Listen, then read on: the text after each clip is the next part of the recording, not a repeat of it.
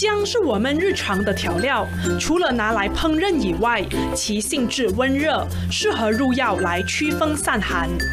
市场上售卖的姜母茶也是生活中很常见的养生饮料。称好分量的姜母茶块非常方便，直接加热水冲泡就能饮用了。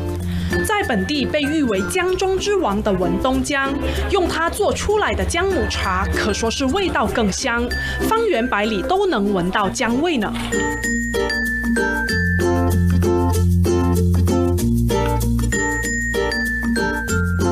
茶是由老姜和红糖制作而成，用料简单，但是制作的时间长，一般要喝就直接买包装好了的，鲜少有人动手制作，而陈永和就是少数之一。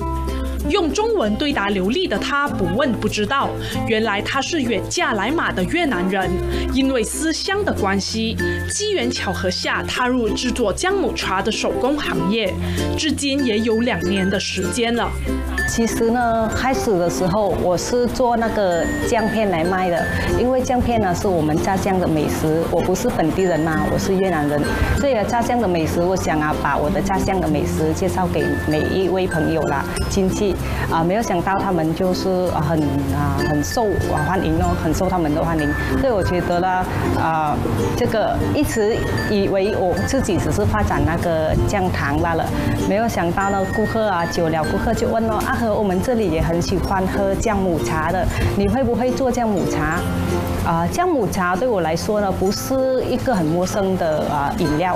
其实以前我住过台湾住了三年，啊，三年内呢，我就是啊很了解这个产品。然后台湾人呐，就是啊很喜欢喝这个姜母茶。然后你知道台湾也是很出名的姜母茶的，所以从那时候呢，我就有接触过，然后也是有一些了解了。啊，等到顾客这样问啊，我就是想啊，好啊，那我试一下可不可以做。到那个姜母茶给你们哦。在研究的过程中，陈永和以不同种类的糖和姜反复尝试，最终发现文东姜比普通的姜来得更辛辣，做出来的姜母茶口感更佳。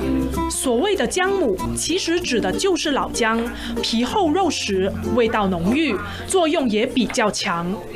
其实呢，呃，以前呢就是有有了解，但是比较没有这样深啊。然后从我开始要决定要做这行业的时时候呢，我就是啊在网站学习很多知识，然后本身也是有去问啊中医师他们，然后就是学习一下啦，教他们指导一下咯。然后啊，我就是有些了解啊。第一呢，要说我的姜母茶的那个成分，我是用的就是文东老姜汁啊，然后跟那个红糖一起配制的。所以呢，那个我的姜母茶的那个性质啊，它的性质是温热性。温热性的话呢，它的啊喝了过后呢，它的啊功效就是可以预防感冒啊，暖肾祛寒的。因为如果一个人呢体质有寒凉的啊，久而久之呢，会啊导致啦那个手脚冰冷啊、麻痹啦啊，还有呢就是他很容易得到感冒的啊。如果喝姜母茶可以预防这些啊这些毛病哦，然后接下来的话呢，长期的那个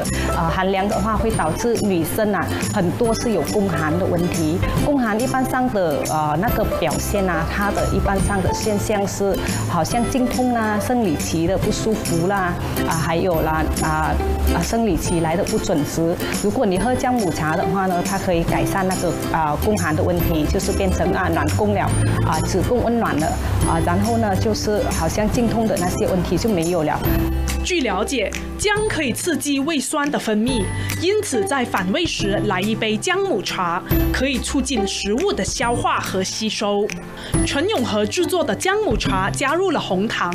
还可以补血养颜。然后喝姜母茶是讲究时间的啊，比如是啊，如果是你早上喝呢啊，你会啊比较啊可以排毒啦啊排汗啦啊提神啦这样啊，但是如果是你晚上呢，特别睡觉之前你喝啊。嗯，其实是不好的，因为啊，就是会导致你第二天呢，可能啊你会遇到燥热的问题。所以呢，姜吃姜还是喝姜啊，最好就是早上的时候到中午十二点姜啊，不要太晚啊，只是要啊了解姜就可以了。了解到现在的人讲求健康的饮食，因此他制作少糖的姜母茶。为了避免使用不新鲜的食材，他的姜母茶需要事先预定，集齐了订单后，他才开始制作。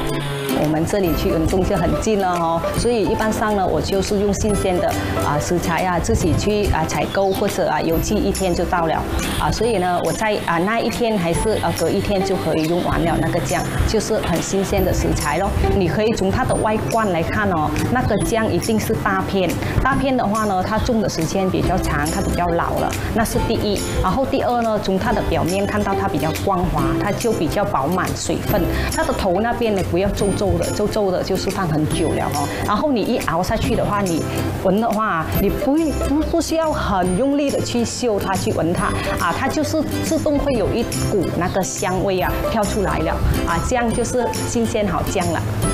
根据他个人的经验，买回来的姜如果洗干净了，一定要马上切，然后马上打成姜汁，不可以收酒。如果收酒的话，它会发出臭酸的味道，品质变了，也就不能拿来做姜母茶了。其实呢，做姜母茶呢，我就不知道其他的卖家还是工厂是怎样去做的，因为我是没有真正的、认真的去学他们的做法，没有拜师，这个是跟我自人啊个人的做法罢了哦啊，然后根据啊就是我的体验啦啊，一般上如果可以做每一天做出来七到八 K 肉的姜母茶了，我要需要用整十六个小时的时间，就是从早上啊啊早上就。七点的时候，我开始一直做到可能第二天的凌晨一两点，啊的的时间，因为很漫长的时间。然后它分为啊几个步骤咯，啊第一呢就是你选姜，然后洗那个姜，洗了过后啊，因为我们的机器不是那种好像啊把大型的那个机器来打可以打到姜汁，所以我们就是把它切小，切小了过后，我们就是拿它的汁，拿它的汁，然后配那个糖。一般上呢，我们会熬。到小锅就是要四五个小时咯，大锅可能六七个小时啊才可以完成啊，就煮好了。煮好了呢，我们就是要给它啊冷。啊，它冷了过后呢，但是不要冷到完了，就是说冷啊，就是等到它一定要有一定的那个温度就马上切。如果它真正的冷却呢，那时候啊又用锤子来锤了，它很硬了。所以啊，那个过程啊，你也是要拿捏的好哦。啊，然后就是切咯，我们切粒，切粒了过后啊，在那个嗯准备包装之前，你一定要给它冷却到完，就是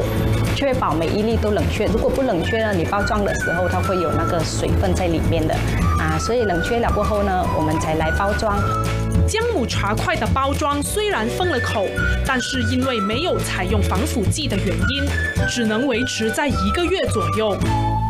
如果放进冰箱冷藏，则可以维持在六个月到一年，但建议还是尽快饮用，这样才能品尝到姜的新鲜味道。对陈永和来说，随着丈夫来到异乡生活是挑战，也是机遇。她很幸运地获得家人和朋友的支持，才得以发展出自己的事业。虽然生意不大，产量不多，包装也不奢华，但是她每一次开锅制作都下足材料，以满满的用心煮出一锅锅让人回味的姜母茶。前线视窗采访报道。